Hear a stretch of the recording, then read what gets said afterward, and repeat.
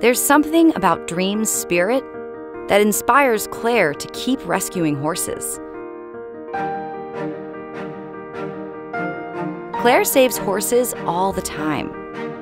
Like Goliath, a huge stallion who was trapped and separated from his family until Clare brought him to her ranch to run free. And Gypsy Rose, a horse Clare actually rescued twice. And this baby. But when Dream came to the sanctuary, Clare had never seen a horse so sick. It's okay. It's okay. It's okay. Dream was in trouble. She was weak. She could hardly walk. And she didn't weigh enough. Clare would have to work extra hard to help her. But Dream was determined. And Clare could see there was something special about her. She wasn't a horse that would give up so easily.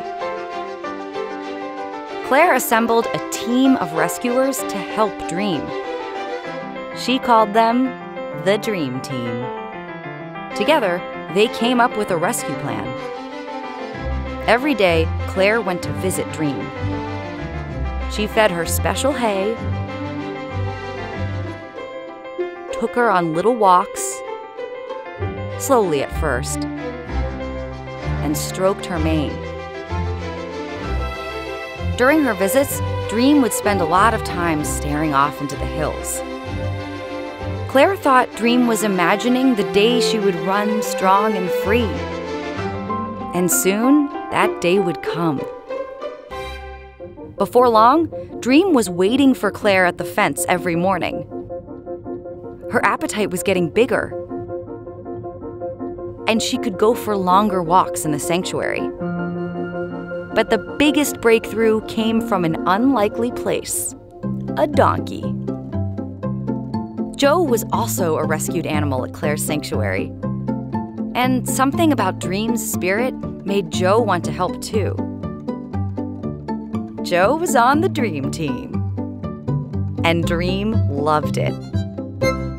With Joe by her side, Dream started to eat even more. And move more too. One day, Clare went to greet her in the morning. And something felt different. She could see it in Dream's eyes. Clare brought her out of the stable, stepped back, and was shocked. Dream was running. Few months ago, Dream could barely walk. And now she was moving like a bolt of lightning. It was the best thing Clare had ever seen. Joe seemed happy too.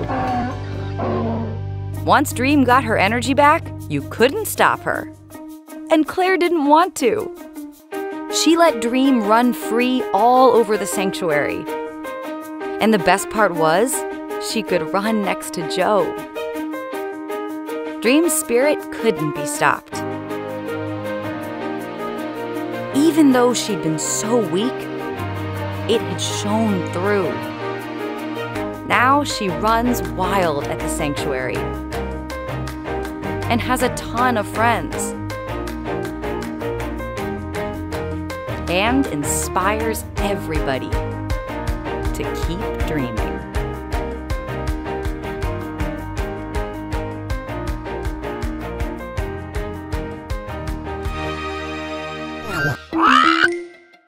Dodo Kids.